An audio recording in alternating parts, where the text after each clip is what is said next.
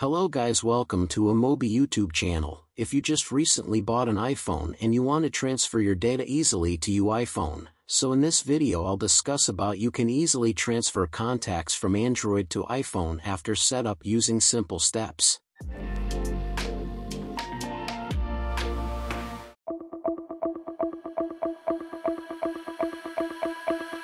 Here in first method just go to your Android device's setting option and here choose the account option and here click on your Google account, turn on sync contacts option and after that all your contacts is being synced.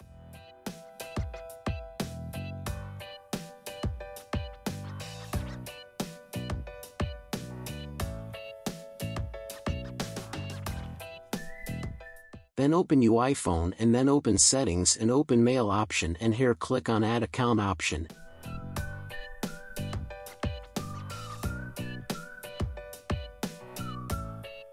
And after adding the mail you get contacts open just enable it and all your contacts is being transferred from Android to iPhone. If you move data using move to iOS it will overwrite data if you already set up, then AnyTrans won't do that and it can help you to transfer files even after setup.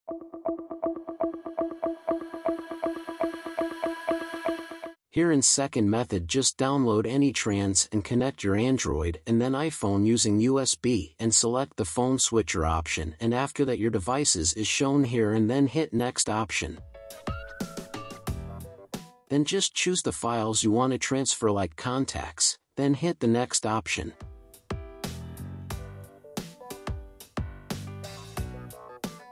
And it will take couple of minutes to transfer the contacts from Android to iPhone. So thanks for watching the video and make sure to subscribe to our YouTube channel and leave a comment if you have any query.